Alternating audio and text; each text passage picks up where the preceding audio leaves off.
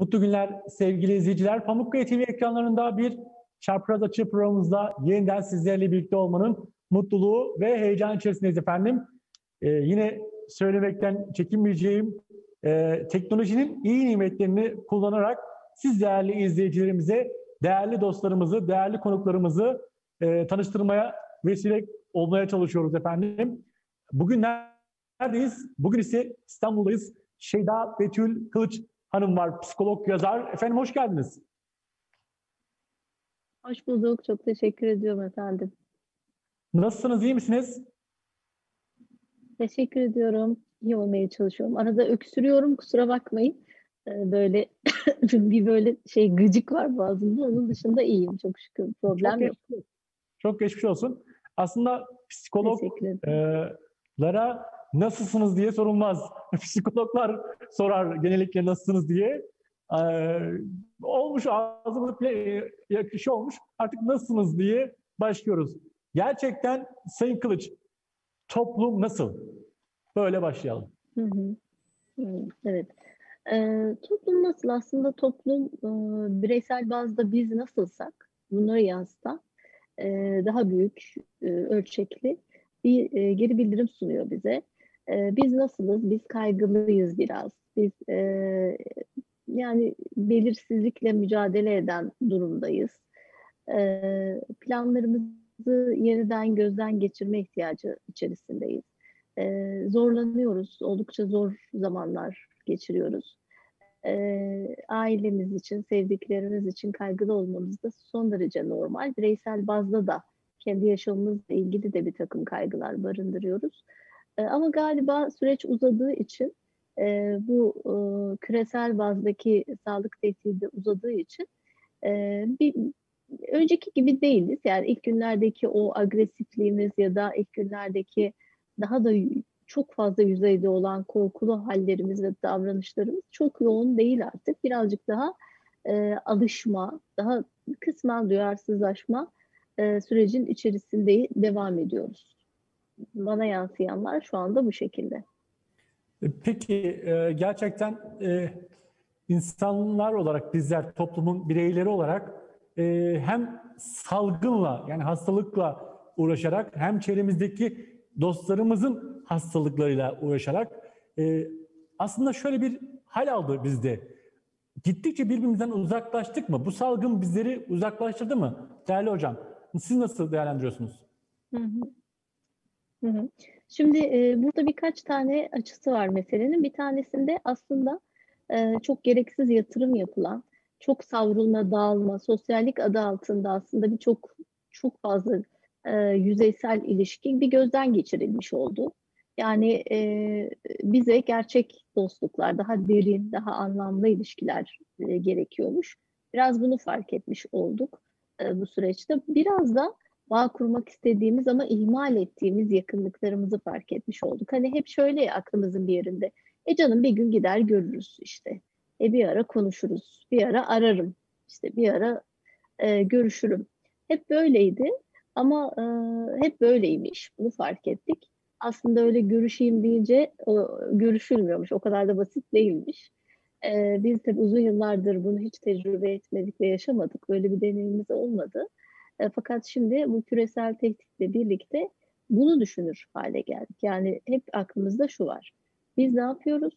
E, aslında her an olabilir zannettiğimiz ilişkilerimiz, e, yakınlıklarımız, samimiyetimiz o kadar da elimizde değilmiş. Her şeyin e, böyle hani sonsuzluğu e, hep olabilir, hep çantada keklik olması doğru değilmiş. Bunu fark etmiş olduk. E, kısmi özlem duygusu bu yılın en önemli duygularından e, bir tanesi, durumlarından biri özlem, bir diğerisi belirsizlik. E, belki hani 2020-2021'i anlatacak e, en belirgin iki kavram özlem ve belirsizlik.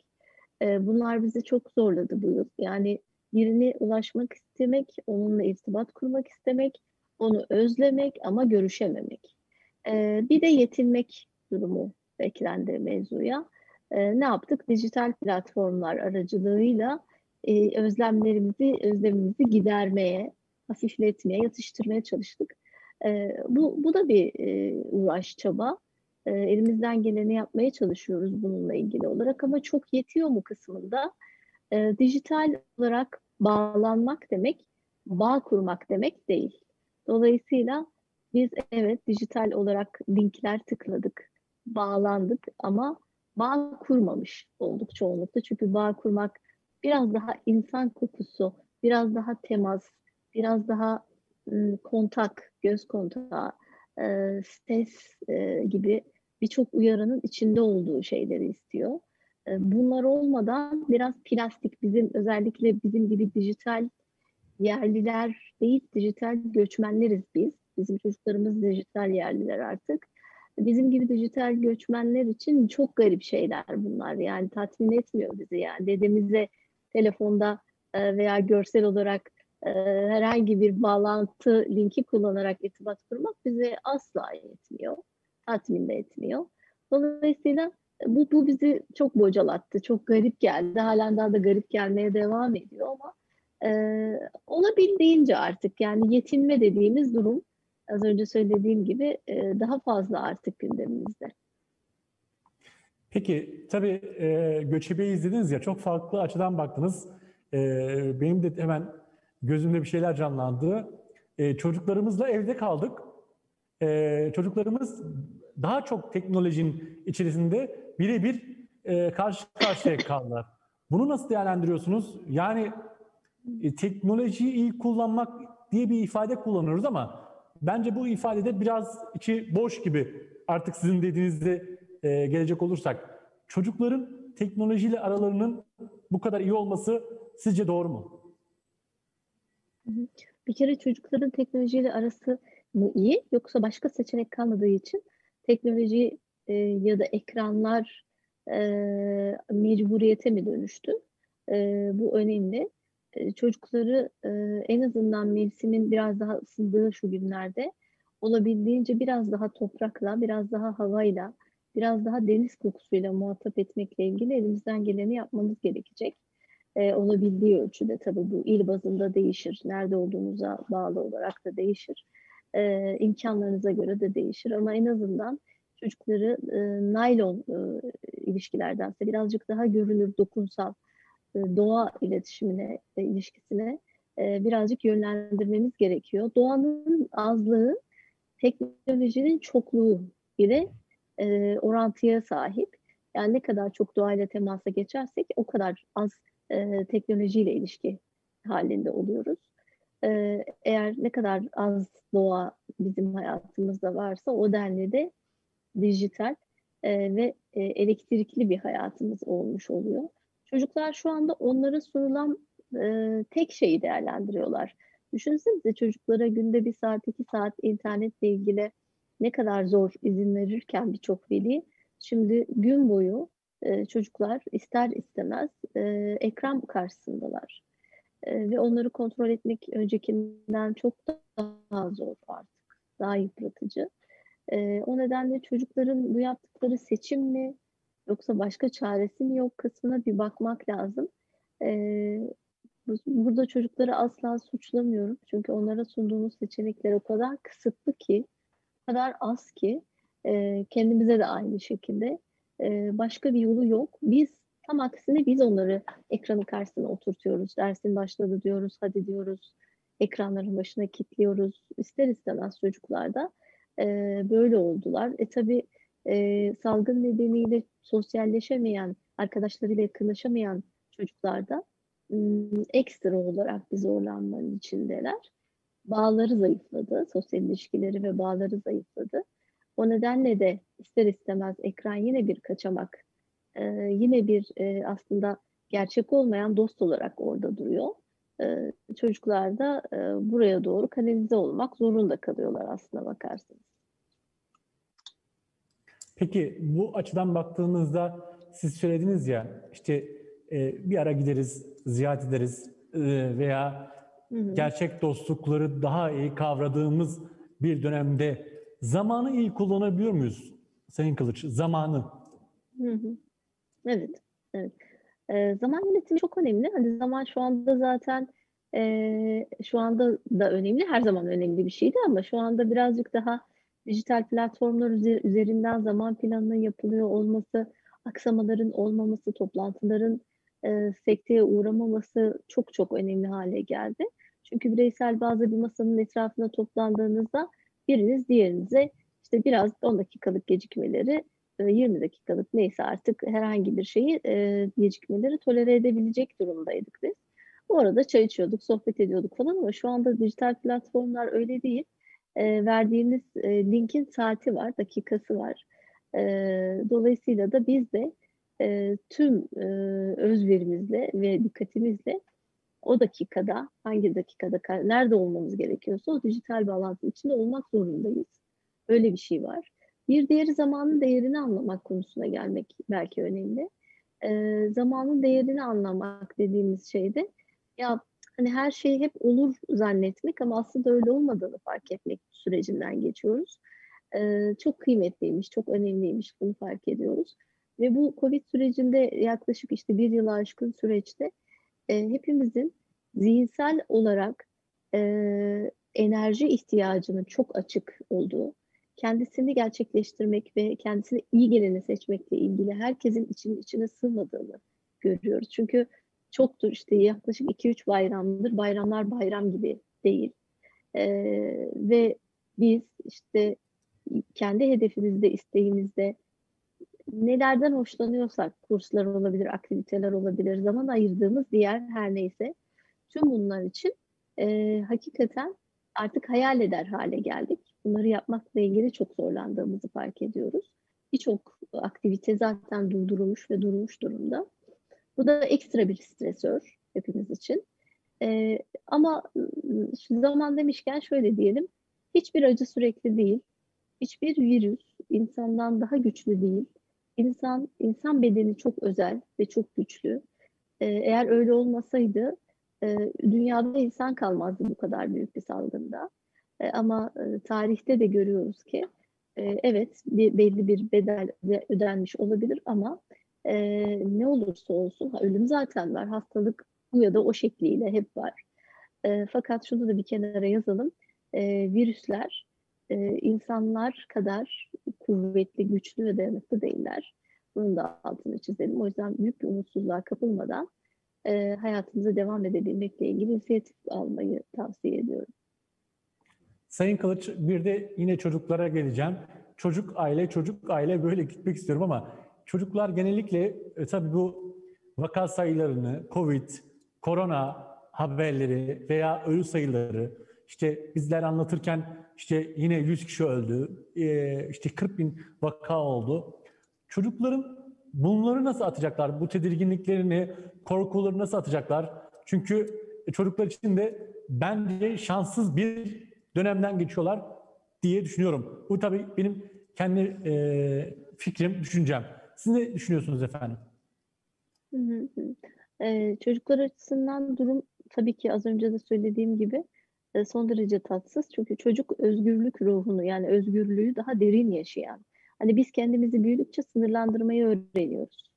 Ee, sınırlandırmayı, ket vurmayı, durdurmayı bunu öğreniyoruz. Ama çocuğun dünyasında çocuk özgür. Yani e, siz ona hangi nedeni getirirseniz getirin, neyi söylerseniz söyleyin çocuk e, kendi özgür standartlarını korumak isteyecektir.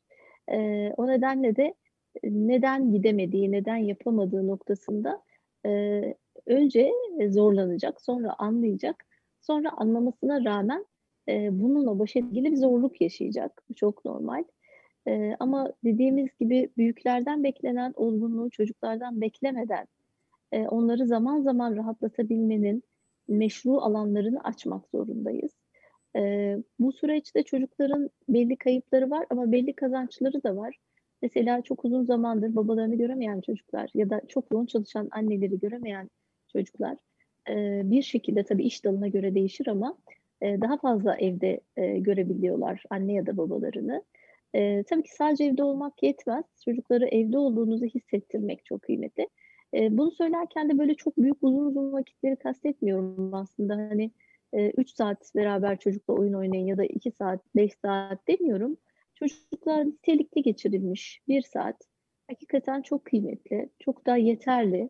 e, bu e, buraya sadece özen göstermek, e, bu süreci oyunla rahatlatabilmek. Çocuklar çünkü oyunla kendilerini anlatırlar, oyunla kendilerini rahatlatırlar, e, anlatabilen, rahatlatabilen çocuklar haline gelirler.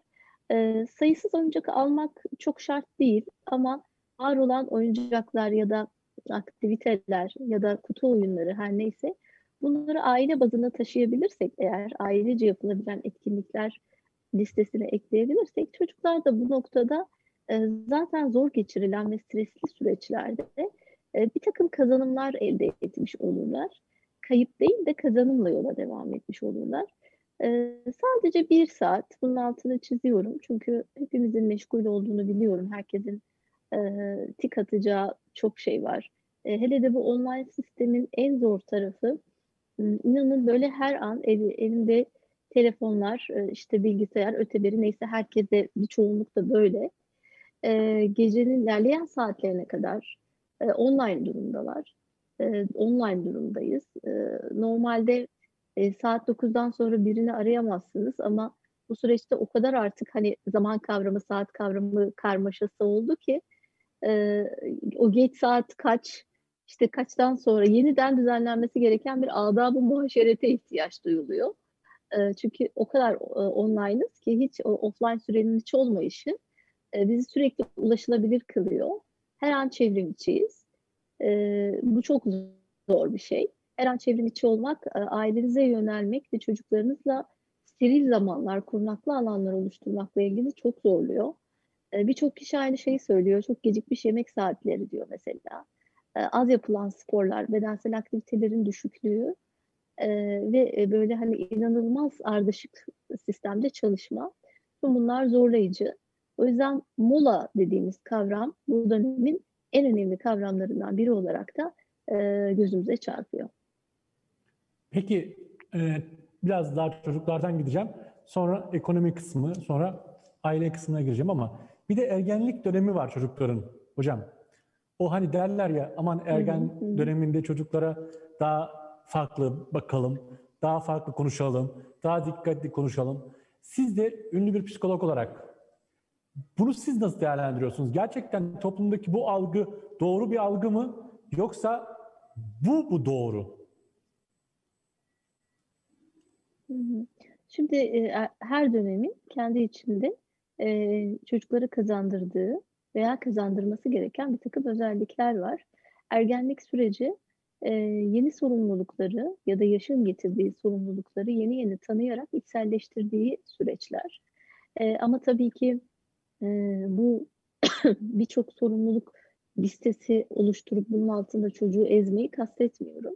Adım adım biz bile bugün bu yaşımızda bize ait bir takım sorumlulukları üstlenirken bunların sorumluluğu, sorumluluğunu alıp bunları devam ettirirken, sürdürürken zorlanıyoruz. Yani e, bazen isyan edesiniz geliyor, bazen bir yere bırakıp, hani hepimizin aklında hele de bu sıralar çok böyle popüler bir söz, cümle geliyor aklıma. Alıp başımı gitmek istiyorum. Yani o kadar çok kişiden duyuyorum ki bunu. Yani bir alıp başımı gitmek istiyorum cümlesi. E, çünkü e, yaşadığımız dönemin e, zorlukları ve yüksek bedellerin ödenmesi e, kişisel e, keyifli alanların bitmesi, sorumluluk alanlarının devleşmesi bizde ister istemez birçok alanda stres e, oluşturmaya başlıyor. Çocuklar bazında da bu böyle. Bu süreçte hem evde kalıp hem e, elindeki eğitim hakkı e, veya oyun oynama hakkı, sosyalleşme hakkı çok küçülmüş, daralmış e, ergenlerden bahsedecek, yeni ergenlerden bahsedecek olursak onlar için e, bana kalırsa ileride e, COVID-19 sürecinde karantina ergenliği diye doktora konuları olacak bana kalırsa ileride e, doktoralara konu olacak bu. E, çünkü düşün, düşünsenize hem hayatta kim olduğunuzu, ne olduğunuzu, bu hayatta ne yapmaya çalıştığınızı, e, değerlerinizi, inançlarınızı, düşüncelerinizi çek ederken, bunları fark ederken bir taraftan da ilginç bir şekilde son derece zorlanıyorsunuz. Çünkü bütün bağlarınız e, son derece seyrelmiş durumda yaşıyorsunuz bunu. Anne çocuk çatışması ya da anne e, baba çocuk çatışması yükseliyor. ebeveynlerle çocuklar arasındaki fiziksel mesafenin kısalması ister istemez birbirine olan tahammülü e, son derece zorlaştırıyor. Bir çok özlemek dedim az önce ben. Özlemek, özlemek dedim. Hani bu e, çok önemli dedim. Bir de hiç özlememek diye bir şeyden bahsedeceğim. E, bu da işte aile içindeki bireylerin birbirinin birbirine fazlasıyla yakın ve aşina olmasıyla beraber özlenmiyor. Hani şöyle diyoruz artık yani ya iki gün üç gün bir yerde olsak da birbirimizi özlesek ya o kadar yan yanayız, o kadar iç içeyiz ki e, bu da ister istemez ayrı bir bıkkınlık birbirinden soğuma ya da birlikte ortak zaman paylaşımı ile ilgili tepkisel olma, e, reaksiyonel davranışlar getiriyor. E, bu nedenle çocuklar da aynı şekilde evde sürekli anneyi görmekten, sürekli babayı görmekten e, ilişkiler son derece böyle birbirimize karşı saldırganca ya da tahammülsüz bir noktaya geliyor. O yüzden ben diyorum ki e, şu dönemde odadaki alan, odada geçirilen zaman yani e, eğer varsa imkan mümkünse herkesin odasında geçirdiği alan alana e, biraz yatırım yapması, kendi kendine kalmayı başarması, kendi aktivitelerini kendi odası dairesinde yapması, yemeklerde görüşmek ya da bir takım sorumlulukları paylaşırken görüşmek gibi böyle biraz es verme. Yani o, o mola, o görüşme molası e, bize bir şey katacak, değerli bir şeyler katacak diye düşünüyorum. Çünkü öbür türlüsü çok yüz yüze olma, çok yakınlığın getirdiği e, ister istemez ilişki aşılması da e, kaçınılmaz hale geliyor. Özellikle ergenler bazında bu daha da çok böyle. Hocam ister istemez tabii ekonomiye de girmemiz lazım. E, çünkü ekonomi de bir psikolog olarak, psikoloji olarak insanın kafasında yer ediyor. E, tabii son zamanlarda yaşanılan ekonomik olaylar da var aileler üzerinde. Bunu nasıl değerlendiriyorsunuz? Tabii bunlar da gelip geçecek ama e, psikoloji olarak nasıl bir yol izlemeleri gerekiyor? Şimdi e, şöyle bir durum var. Biz e, bu sürecin birçok sekmesi var zorlayan. Bunlardan bir tanesi de tabii ki e, iş gücüyle ilgili zorlanma, e, el emeğiyle ilgili zorlanma. Özellikle el emeği, iş e, işçiliğiyle ilgili e, çalışan bütün alanlarda ister istemez e, çok fazla aralar verildi. İşte ne bu sağlıkla ilgili aralar verildi. Çünkü e, çalışanlarla ilgili hastalık süreçlerinin takibi, e, on, bu süreçleri yapılandırma, sürdürebilme, takip edebilme de çok zorlayıcı hale geldi. O nedenle mümkünse eğer e, bu süreçlerde bazı şeylerin anormal değil normal olduğunu yani sürece ait normallerin içinde olduğunu fark etmek. Önce buradan başlamak. Yani evet önceleri bu kadar çok iş kaybı olmuyordu. Bu kadar fazla izin alma, bu kadar fazla işçi e, çekilmesi olmuyordu. Performans kaybı bu kadar yoğun olmuyordu. Ama şu an şunu bileceğiz küresel bazda hepimiz tüm dünya olarak aynı iş kayıpları e, yaşıyoruz. E, bu her yerde geçer. Yani sektörel baktığımızda endüstriyel bütün e, alanlarda bu geçerli. E, işle, el işçiliğiyle ilgili alanların hepsinde geçerli. E, çünkü e, temasın engellenmesi gereken e, bir e, süreci olduğu için şu anda öyle bir süreçten geçtiğimiz için ister istemez e, daha az temaslı çalışmayla ilgili bir çabamız var. Ve bu da ne yaptı? Tüm sektörleri etkiledi. Ekonomik kayıplar çoğaldı tabii ki. Her türlü iş sektörü kendine göre bir kayıp yaşamış oldu. Bir kere yalnız değiliz. En azından bunun altını çizelim. Yani her iş alanında, her sektörde kendine ait kayıplar listesi var uzayıp giden. Ee, kolay bir şey mi? Hayır tabii ki değil. Son derece zorlan, zorlayan bir şey oldu bu.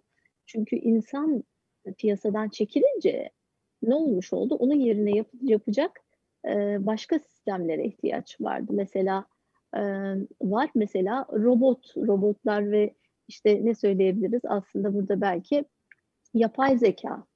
Yapay zeka bundan sonraki süreçte e, belki bu ve buna benzer e, tehditlerin, sağlık tehditlerinin insanı tehdit eden e, viral süreçlerin devamlılığı söz konusu olacak olursa e, çoğunlukta biz e, şunu söyleyeceğiz. ne yaparız da bunu yapay zeka ile çözebiliriz. Çünkü e, piyasanın herhangi bir ürüne ihtiyacı var ama onu üretecek insan eli e, korunması gereken bir süreçten geçiyor. O zaman ne yapmalı? O zaman bunu insan eli yerine belki yapay zeka ile çözebilmeye yönelik bir yönelim gerekecek. Mevzunun e, ekonominin bir diğer alanı ise şu, biz e, bu dağılan ekonomide e, var olan ihtiyaçlarımızı nasıl karşılayacağız kısmı. Tabii bu aileler arasında çözülmelere yol açmaya başladı. Çünkü çok fazla büyük bir, yani bana kalırsa bir ekonomist değilim ama bana kalırsa e, Türkiye'nin e, dünya diyemeyeceğim, bilmiyorum dünyada birçok açıdan değişebilir paradigmalar var ama Türkiye'nin e, Covid-19'dan daha önemli bir sorunu var. O da ekonomi. E, ekonomiyle ilgili sorunun gerçekliğini fark etme. Her ailenin kendine göre yeni e, planlar yapması gerekiyor. E, yeniden e, gündem, gündemini bir e, çek edip ne yapıyoruz? Bizi ne bekliyor? Nereye doğru gidiyoruz? E, en azından küçük ölçekte e, gelir gider dengesinde ne tür önlemler bize iyi gelir? E, bir takım belirsizliklerle mücadele ederken e, gelir ve gider dengesindeki yeni yapılanmada neler olmalı? Bunları biraz gözden geçirmek hepimize iyi gelir. Bir parça netlik kazandırır. Çünkü e, bu netlik, küçük netlikler bile önlemler listemizle ilgili e, sorumluluk almamızı gerektirecek. E, bu çok önemli gibi geliyor bana. Bunları bir gözden geçirmek e, hepimiz için iyi olur. Onun dışında e, eğitim giderlerinin küçüldüğünü biliyoruz. Çünkü e, eğitimle ilgili biliyorsunuz malum süreçler devam ederken e, çok da fazla işte çocukların evde kalması. E, bu neyi etkiledi mesela? Tekstil etkiledi. Neyi etkiledi? İşte her alana etkilediği gibi e, yeme içme alanında daha az e, etkilendi ama e, tekstil piyasası bundan çok çok yoğun etkilenmiş oldu. E, sağlık ve yeme e, yeme içme ile ilgili endüstriyel platformlar biraz daha iyi. E, çünkü kaçınılmaz ve hayati iki varoluşsal ihtiyaç var bunun içerisinde. Bunların dışındakiler e, çok çarpıcı bir şekilde etkilendi ama bundan sonra bununla da nasıl yaşanır öğreneceğiz. Bu süreçle ilgili de önlemler paketimizi canlandıracağız. Daha yaratıcı sonuçlar çıkacak. Çünkü insanlığın hiçbir ekonomik e, buhran insanlığın sonunu getiremez. İnsan akıllıdır, düşünür. Kendisi için doğru olanı, iyi olanı, onu yaşamda tutacak olana yönelebilir. O nedenle bence yeni yapılandırmalar için güzel bir süreç takip edecek. Hocam son 5 dakika e, bayağı süre hızlı geçti. Hı hı. Sağ olun, var olun. Bu 5 dakika içerisinde ben bir soru sormak istiyorum. Sevgi ve saygı hocam. Sizce hı hı. E, toplumumuzda şu an sevginin ve saygının önemi var mı, yok mu? E, nasıl bir e, yolun içerisindeyiz hocam? Hı hı. Sevgi ve saygının önemi her zaman var. Çok kıymetli. Ee, çalıştığımız bütün danışanlarımızda e, çok önemli. E, böyle birazcık adım attığımızda geçmişine, çocukluğuna, gençliğine, büyütülmesine adım attığımızda hemen oradan e, bir sevgisizlik e, ışığı yanmaya başlıyor. Çok tatsız. Böyle olduğu zaman sevgisizlikle büyütülmüş, sevilmeden büyütülmüş çocuklar nasıl sevileceğini de bilmiyorlar işin kötü tarafı. E, o nedenle sevebilmeyi öğrenmiş olmanın diğer bütün öğrenilen şeylerden daha kıymetli olduğunu düşünüyorum. E, hani aşk başımızı döndürür, sevgi dünyayı döndürür e, diye bir söz var. Çok seviyorum.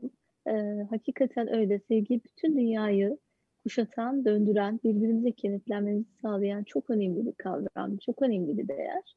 Eğer becerebilirsek birbirimizi sevdiğimizi belli edebilme becerimizi de geliştirmemiz gerekiyor. İşte seviyorum ama bilmiyor, haberi bile yok.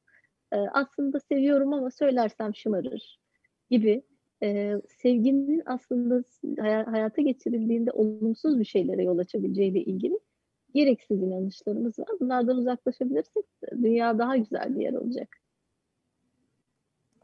Çok teşekkür ederim.